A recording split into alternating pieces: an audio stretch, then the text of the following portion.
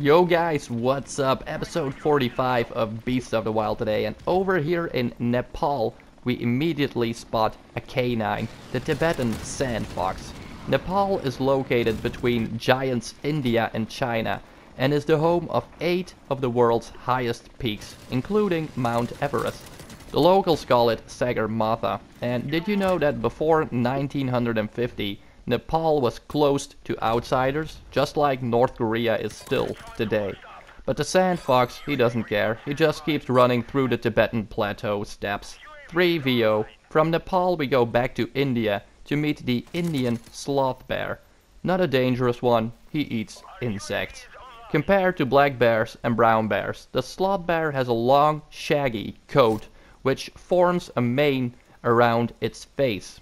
He also has an adapted lower lip and palate specially designed for sucking insects. I spent quite some time running through these tunnels but no enemies to be seen. A victory after a heavy camp match and 3VO again. Over to the Kashmir Valley then to hunt for cattle. The Bactrian camel. It can tolerate cold, drought and high altitudes, but it cannot identify a claymore. Such a shame. The Bactrian camel only has a small population here in India just like in Kazakhstan, because most of them live in Central Asia, which means China. You can see the difference right away if you put it next to a regular camel. Thanks to its thick, long coat, it's quite stylish if you ask me. I'm having a hard time deciding where to put my airstrike, but, you know, if I wait for too long, I'm gonna get wasted anyway. Another Liberace camel comes through and he hides behind a door, sadly for him, and of course, the chopper. After spawning, we prepare for the battle with the Indian leopard. We already introduced you to its nephews, the snow leopard and clouded leopard.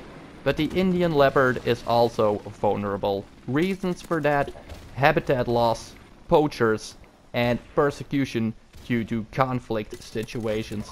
Yeah, the Indian leopard. He doesn't have a happy life. Poor bastard. A victory against the Bactrians and the Leopards, and a nice 9v1 on Showdown.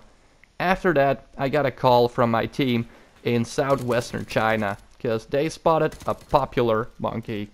The golden snub-nosed monkey. Why did we have to come this far? Because they only live in temperate mountainous forests in southwest China, but snow occurs frequently within his home. Here you see him having a blast with the claymores and dropping grenades. And these monkeys, they live close to Japan, so they are familiar with the samurai tactic. The word banzai actually means something to him. It also has a blue face. Yes, I am not kidding. A blue face, like a smurf. And sometimes it doesn't go down easily, of which you just saw proof. I'm warming myself by the campfire, but the golden snub-nosed he can stand colder temperatures than any primate, Mr. Popsicle. A loss and 8 VO. Off to India again to capture an extremely colorful specimen. The Gee's Golden Langur. This one looks funny with an orangish slash reddish coat. He is endangered and only lives in a small region of western Assam in India and in lower Bhutan. For a long time, this animal was considered sacred by Himalayan people. But the Langur couldn't stop his team from losing this match. 4 VO. From India we go back to neighboring Nepal. We already saw the Tibetan sand fox today and meet the Tibetan wolf but you can only find him in two Nepalese regions, the Upper Dolpa and Upper Mustang regions. Of course, you can also find him in China and northern India, and he is a subspecies of the common grey wolf. Everyone knows the grey wolf, they look like huskies.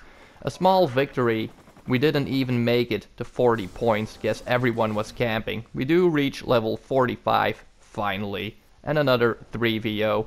Into the city then, where we see an old friend again, the wild Asian water buffalo, also called Arni, and believe it or not, it is endangered. Between 3,000 and 4,000 water buffaloes is the estimated number, and it's the ancestor of the domestic water buffalo. Both of them are not familiar with claymores.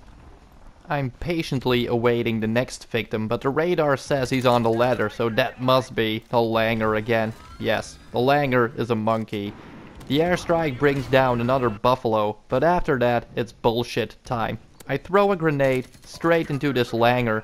It even wounds him. Both of them come down. I'm blocked by the ladder, and there you go. Stupid ass game. It's always bullshit, even in COD 4. Thankfully, the chopper takes care of a few more water buffaloes. That's two. And I'm even blessed with the final kill cam. How awesome is that? Look, it's a wild Asian water buffalo transforming into a domestic Asian water buffalo. Remarkable. A nice victory and 10 v1. The only match today where we reached 10 kills. Damn Langur. I could have gotten a 17 KD today. Guess 16.85 has to suffice. See you on the next one guys. Peace.